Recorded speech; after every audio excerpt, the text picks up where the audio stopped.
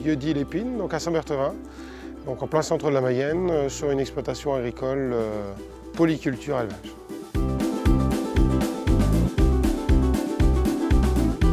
Actuellement, on produit du lait, de la volaille, des cultures accessoirement plus fourragères pour l'alimentation du troupeau et ensuite des énergies renouvelables sous la forme photovoltaïque et méthanisation. Donc aujourd'hui, on a un troupeau euh, en race Primacheng euh, qui produit actuellement un peu plus de 10 000 litres par an. Euh, on a obtenu cette production essentiellement grâce à l'insémination, l'alimentation. On essaye de choyer au maximum nos animaux pour, pour leur faire produire un maximum aussi.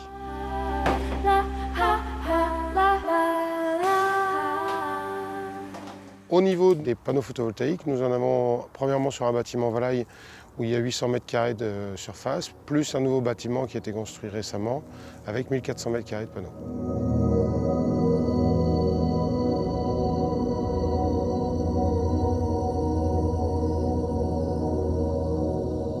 La méthanisation a démarré en 2012 avec la production de 800 000 kW électriques par an.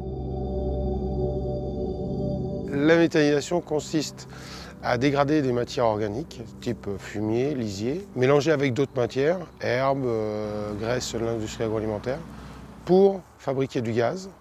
À partir de là, le gaz est utilisé dans un moteur qui lui entraîne une génératrice et produit de l'électricité sur le réseau. De là aussi, on récupère la chaleur du moteur. C'est de l'eau chaude qui après euh, va en réseau pour alimenter le chauffage des bâtiments volailles, la partie laitière pour le nettoyage vente direct et nettoyage robot, ainsi que le chauffage de la maison et l'eau chaude sanitaire.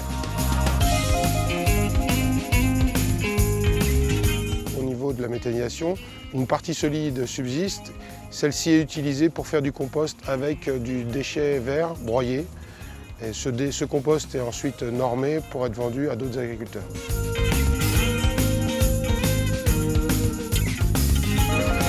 La réflexion sur les énergies renouvelables au niveau de notre site s'est posé au fur et à mesure du temps euh, sur le principe de se dire voilà, on a des surfaces, on a des matières premières, pourquoi pas les mettre en valeur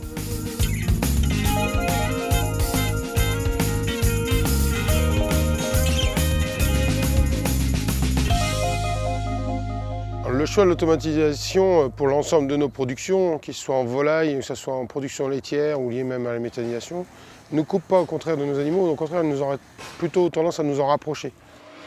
Le temps libéré par l'automatisation permet justement d'avoir un, œil différent, euh, de passer de façon peut-être encore plus régulière dans le, cheptel. Et euh, quelque part, bah, ça ressent aussi pour le, confort de nos animaux, la qualité de nos animaux. L'automatisation euh, est également aussi un moyen de pouvoir profiter de nos enfants, d'en profiter encore plus même dans l'avenir. C'est un choix puisque c'est vrai qu'on a quatre enfants. Il faut savoir aussi en profiter, rester près d'eux. La plus grande motivation, bah, c'est d'abord qu'on travaille toujours avec du vivant. Et quel qu'il soit, en fait, on a du vivant au niveau de la production laitière, la production de volaille. Et la méthanisation aussi, c'est du vivant. C'est la petite bactérie qu'il faut savoir alimenter, qu'il faut savoir euh, choyer parce que c'est elle qui nous fait du gaz. Il faut se dire que c'est remis en cause tous les jours. Et aujourd'hui, on maîtrise beaucoup de choses, mais euh, pas tout. Quand on a démarré euh, il y a quasiment 7 ans, on avait mis carte sur table à nos financeurs en leur disant voilà, on aura tout ça à faire. je crois qu'aujourd'hui, on arrive au bout et c'est la plus grande satisfaction.